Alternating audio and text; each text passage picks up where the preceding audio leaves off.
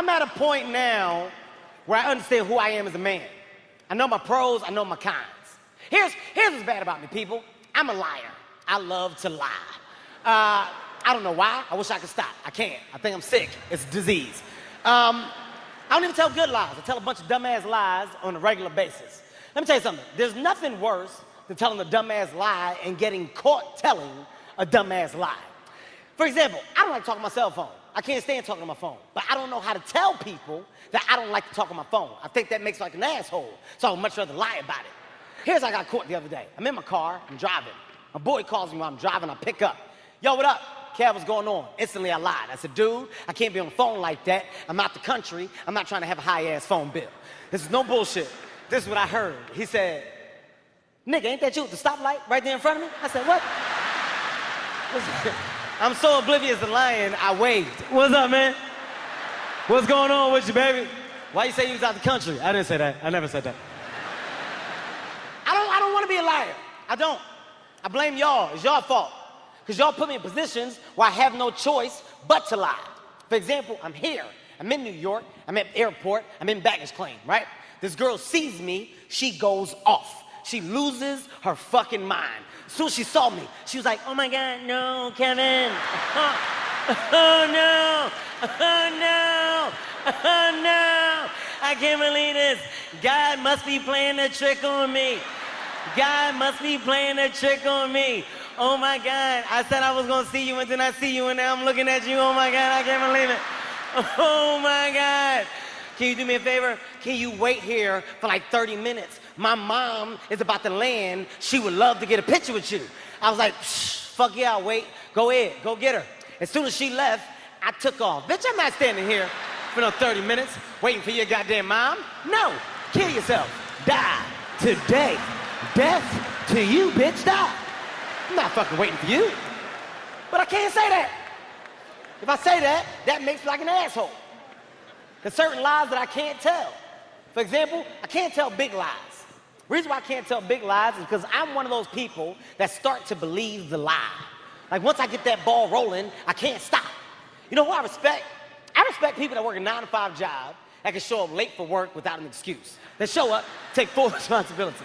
Hey, I'm sorry I'm late. It'll never happen again. I overslept. I apologize. It's irresponsible on my behalf. If I do it again, fire me. I respect people that can do that. Because I can't do that because I'm a fucking liar. I am. If I'm late, something happened. I don't give a shit. Something drastic happened. Yo, dude, sorry I'm late. I was on the highway and the fucking baby was running on the highway. Yeah, I know, right? Shit's crazy. So I get out the car, I start chasing the baby. In my mind, I'm like, why you running, baby? That, that's what I'm thinking, right? But I'm like, what do you do? Because I can't just grab the baby and throw the baby in the car. That's kidnapping. I fuck around, go to jail. I got a little butt. I'll get raped. I know they fucking rape me in jail. I ain't trying to get raped. So I had to make a decision. I was like, shit, what do I do? So I decided to adopt the baby. What I did was, I downloaded this app on my iPhone, this Adopt the Baby app, right? I put the barcode on the baby head. Boop. That way the baby knew he was my baby. I put the baby in the car. I go to pull off. I turn around. A deer was running towards the car. So I'm like, oh shit, this deer is about to eat the baby. That, that's what I'm thinking, right? But then I looked closer. I noticed the front part of the deer was a deer. The back half was a zebra. It was half deer, half zebra. So I'm like, oh shit, it's a deer, bro. Like that's what I'm thinking.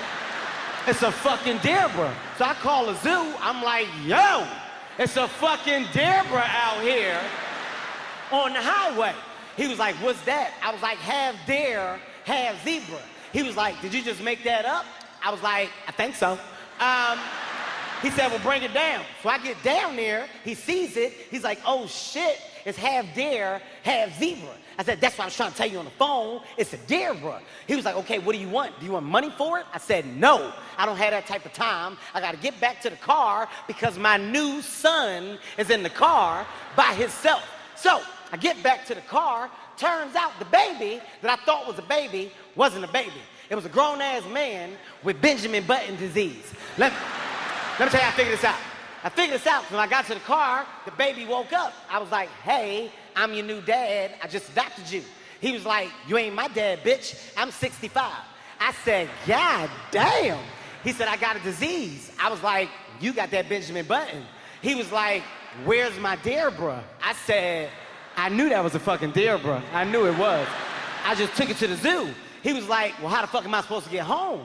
I said, you ride that motherfucker, man?